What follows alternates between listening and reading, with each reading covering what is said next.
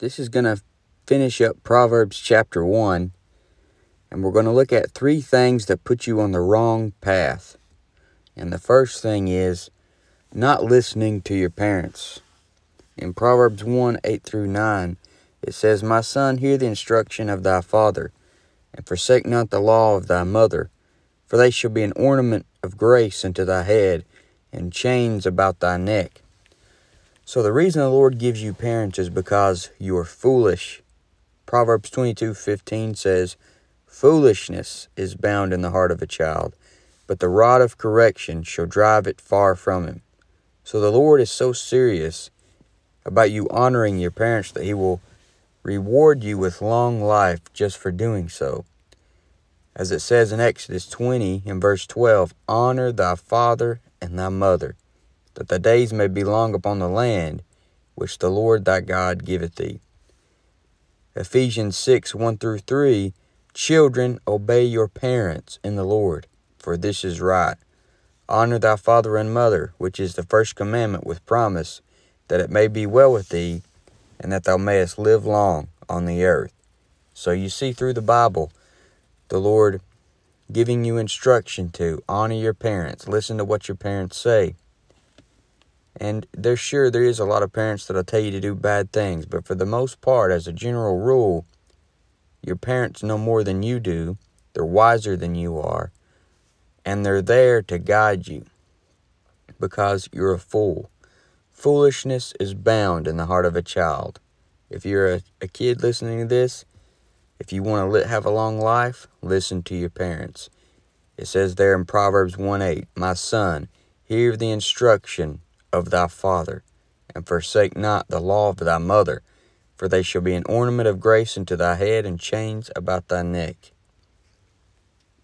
So that's a clear commandment in the Bible. And that's the first place that you're going to go wrong. You're going to disobey your parents. You're going to do something that they told you that you shouldn't do. And that's when trouble starts. And the next one is hanging with the wrong crowd. In Proverbs 110, it says, My son, if sinners entice thee, consent thou not. So there are going to be men who try to get you to sin because men don't like to sin alone. The only person who can stand around to be a drunk is another drunk. That's why they want you to get drunk. Proverbs 111 If they say, Come with us, let us lay wait for blood. Let us look privily for the innocent without cause. Notice they lurk privily for the innocent. Men want something for nothing. They don't want to go to work and make something of themselves. They want to take it from men who have the decency to go to work. So they lurk privily for the innocent. And they say in verse 12, Let us swallow them up alive as the grave, and whole as those that go down into the pit.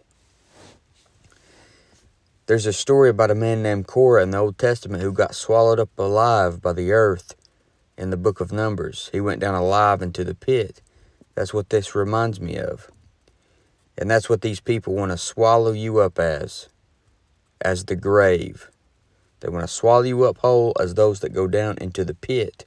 Yet they're going to be the ones that end up going down into the pit. They say in verse 13, We shall find all precious substance we shall fill our houses with spoil. So they have their affection on things down here. They're worried about filling their houses with the material things of this world, things that they've taken. And hanging around these type of people, these sinners, is one of the things that will hurt your Christian fellowship and put you down the wrong path quicker than anything. Be careful who you follow because you will follow them down the wrong road. Exodus 23 2 says, Thou shalt not follow a multitude to do evil. No matter how many people, no matter how popular they are, you don't want to follow a multitude to do evil.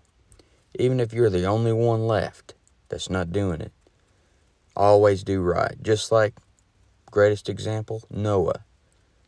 One of the only righteous men, just him, out of all the world, and he did right. 1 Corinthians 15:33 Be not deceived evil communications corrupt good manners. 2 Corinthians 6.14, Be not unequally yoked together with unbelievers.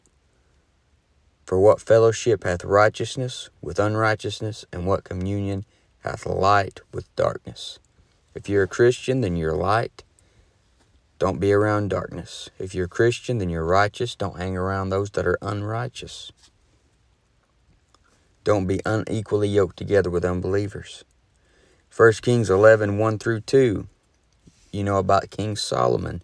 He loved many strange women, together with the daughter of Pharaoh, women of the Moabites, the Ammonites, Edomites, Zidonians, and Hittites, of the nations concerning which the Lord said unto the children of Israel, You shall not go in to them, neither shall they come in unto you. Now listen to this, for surely they will turn away your heart after other gods. And Solomon clave unto these in love, and that's where he got in trouble. These people turned away his heart after other gods. And that's what will happen if you hang around sinners. If you hang around people that entice you. That's why it says here in Proverbs 1 and verse 10 My son, if sinners entice thee, consent thou not. If they say, Come with us, let us lay wait for blood, let us lurk privily for the innocent without cause.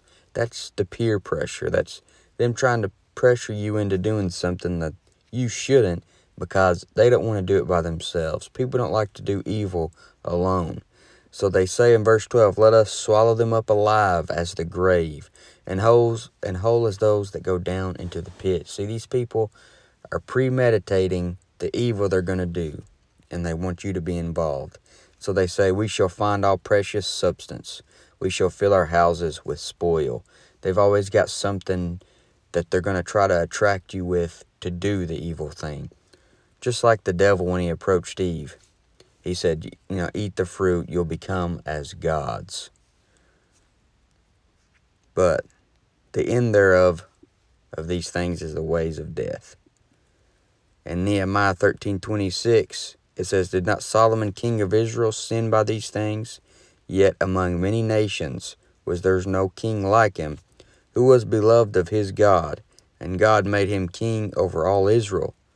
Nevertheless, even him did outlandish women cause to sin. So even King Solomon, the man who wrote Proverbs himself, got around the wrong people and ended up having his heart turned away from the Lord God. So what makes you any different? Do you think you're wiser than King Solomon? Ephesians 5:11 and have no fellowship with the unfruitful works of darkness, but rather reprove them. That stuff you see on YouTube on the trending page, that is the unfruitful works of darkness. You see these music videos that have like 10 million views in one day and it's straight filth. That is nothing but one musician or rapper or devil in the flesh using music to lead millions of people down the wrong path. That is the unfruitful works of darkness. But the, an, another thing that's going to put you on the wrong path is setting your affection on the things of this world.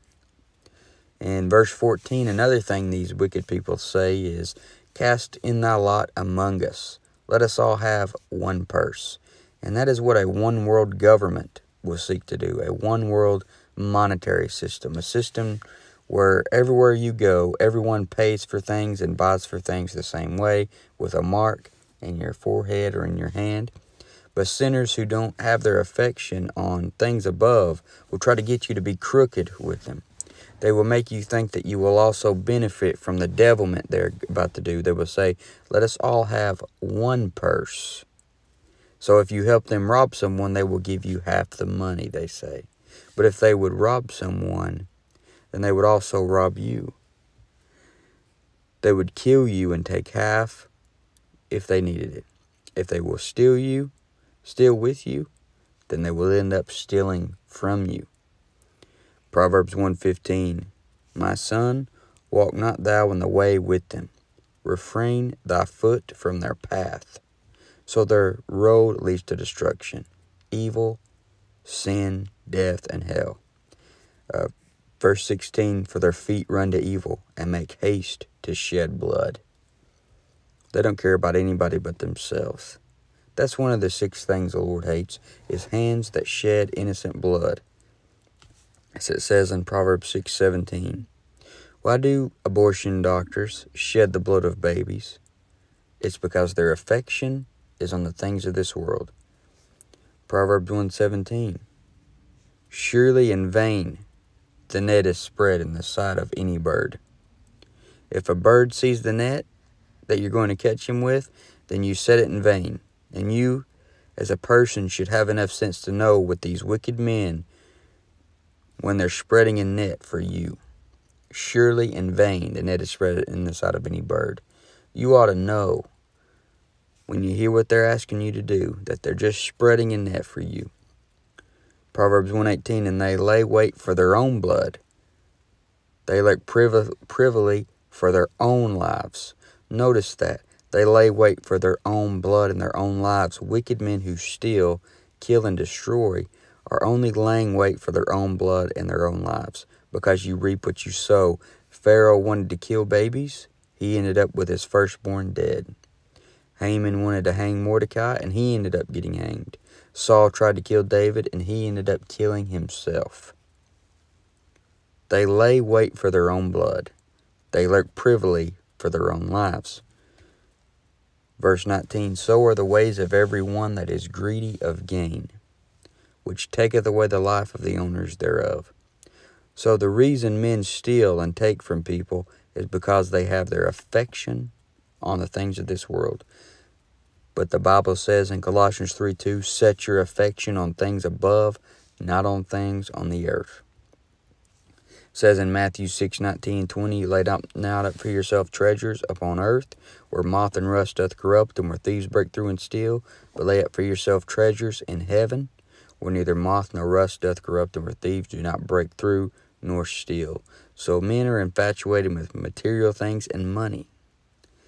That's why 1 Timothy 6.10 says, For the love of money is the root of all evil, which while some coveted after, they have erred from the faith and pierced themselves through with many sorrows. The more money you have, usually the more sorrow you're going to have. And that's what people are wanting.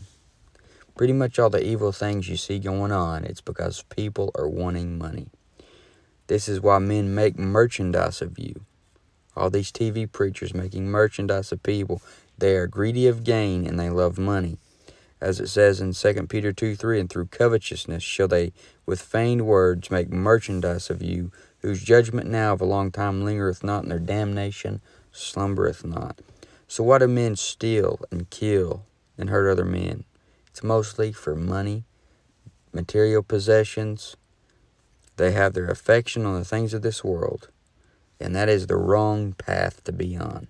So, what are three, just three quick things to keep you from going on the wrong path is listen to your parents, set your affection on things above, don't hang out with the wrong crowd. If you just quit doing these, if you start listening to your parents, start hanging out with people you should, and start setting your affection on eternity, on heaven, then you're going to turn out a lot better. But if you don't do these three things, you're just going to continue down the path of destruction. And many people will lead you down that path. But this has been chapter 1 of the book of Proverbs.